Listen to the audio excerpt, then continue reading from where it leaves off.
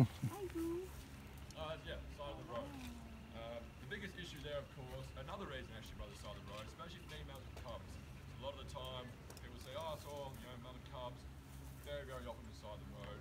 Uh, because you might query, why would a healthy female take her cubs where she should be negative by trucks or cars or anything like that? Um, it's because they're avoiding bears like the fish. Kind of been saying, mum raises the cubs, mum does this, mum does that. Exactly stick around and help raise the young at all. Meaning.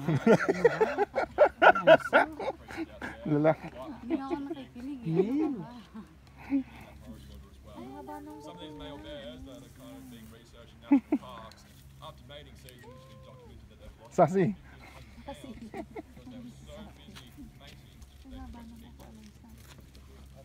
Pareho kayong kuko. oh.